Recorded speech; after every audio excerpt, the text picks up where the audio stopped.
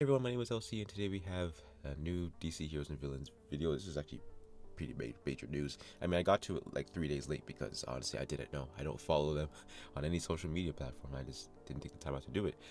But I have been alerted that we have some DC Heroes and Villains news. Without further ado, let's just jump straight into it because this is pretty major for people who have been waiting such a long time.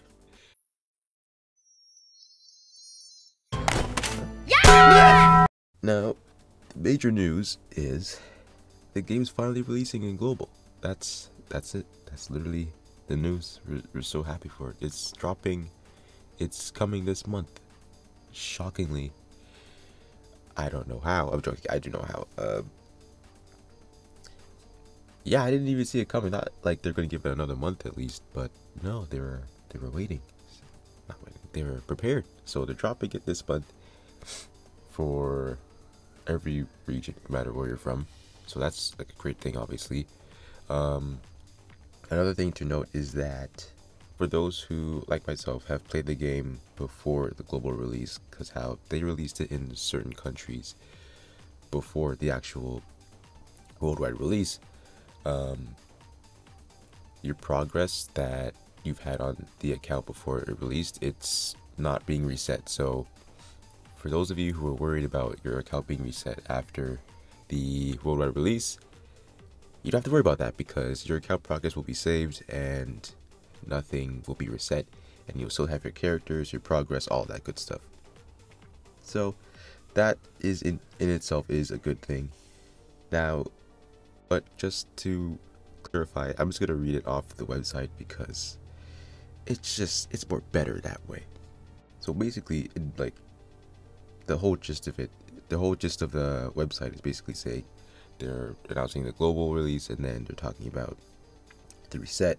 I'm really talking about the reset right now because a lot of people, especially on the Discord, were asking whether if their accounts would reset, and like a lot of people would be upset if their accounts were just like, restarted because they did put a lot of work into that, and I agree with them because that is a lot to well, well, in this game you might not see it, but I mean, this game isn't hard to progress in, but like it has some things that like might be a pay to win kind of flex, or it just takes a lot of like resources in, and you don't want to reset that. And, and no matter what game you probably start, you don't want to reset your progress where it's at. So now it also says here that the people who have had access to the game before the global release, so yeah, pretty much that.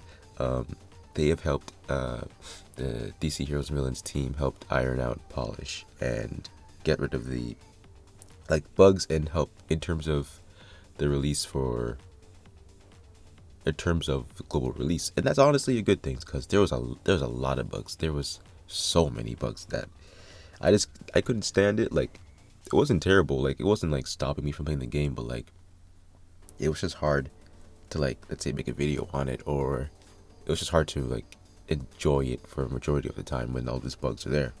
But so yeah, it's good to see that good to see that those bugs are taken care of and that the the game is finally ready to drop this month. But yeah, I think that's that's pretty much it. It's not like a it's not a lot in terms in terms of news but like it's just it's just those two things but like the two major things because one the game's coming out very soon because it's this month right? And two your account progress if you had the game before the release is going to be saved. So that's the news that's all the news that we have for you today but that is a great thing. It is honestly a great thing.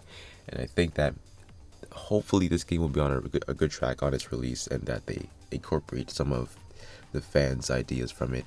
And hopefully this game can flourish like Marvel Puzzle Quest because Puzzle Quest been gone Puzzle Quest has been going on for such a long time, so it'll be nice to see like a DC puzzle game um, have that kind of longevity as well. But I'm gonna wrap it right there. Thank you guys so much for watching. If you guys enjoyed this video, don't forget to like, comment, and subscribe. Also, if you guys like to see more DC heroes and villains content, don't forget to let me know as well. Like always, it's always a pleasure, and I'll see you guys in the next video.